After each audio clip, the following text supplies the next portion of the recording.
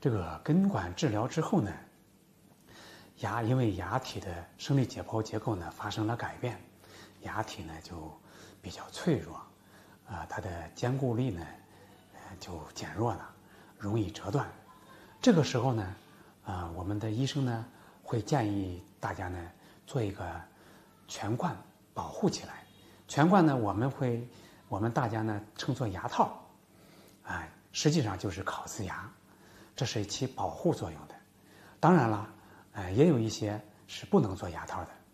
比方说有些牙齿缺损面积太大的，啊，或者呢其他原因的导致的是不能做牙套的。这个时候呢，就需要做一个呃固位装，或者呢做一个嵌体，或者呢做一个电脑的三 D 打印的一个产品，呃做做修复。总之呢是增加它的坚固力。